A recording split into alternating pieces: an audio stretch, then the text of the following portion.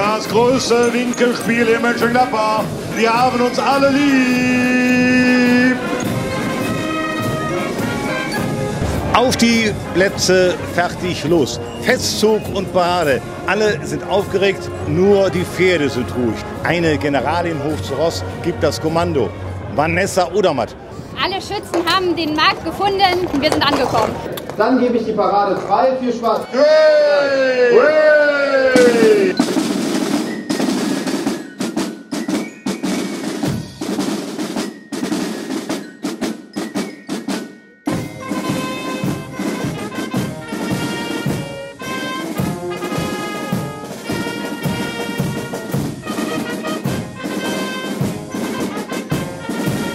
2500 Schützen und Musikanten, 13 Musikkapellen und ungezählten Freunden am Straßenrand.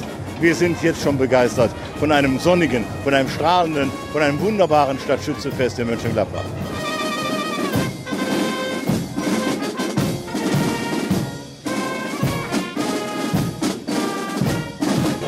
Stadtschützenfest ist immer eine Zeitreise in die Vergangenheit, weil die historische Tracht und Uniformen spiegeln historische Ereignisse, historische Zusammenhänge. Ein bisschen Preußen ist dabei im bunten Rock, viel Rheinisches ist dabei mit grünen Jägeruniformen oder Hubertusröcken. Und das traditionelle Gewand ist eben der schwarze Anzug, Kött oder Frack. Alles wird gezeigt, alles wird getragen. Und wer ganz genau hinschaut, findet auch Marine, findet Husaren, findet Ulanen, findet Infanterie. Die verschiedensten Uniformen kann man sehen. Zum Teil sind sie historisch echt, manchmal auch nachempfunden. Unsere Schützen sind fantasiebegabt, denn die Uniform ist kein Militärausdruck, die Uniform ist ein Zeichen der Gemeinschaft. Wir sind eine Gruppe, wir freuen uns und wir zeigen unsere Verbundenheit mit dem Brauchtum.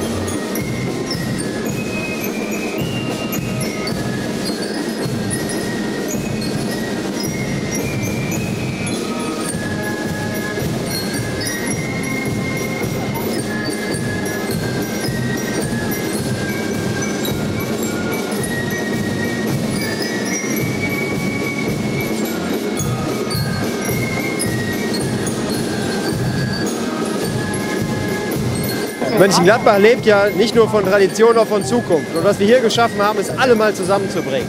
Wir haben viele Besucher auf der Waldhausener Straße, hier auf dem Alten Markt, die Wirte, die Altstadtinitiative, die Schützen. Und bei der Parade gucken alle zu und sind alle mit dabei und ich freue mich wirklich drauf.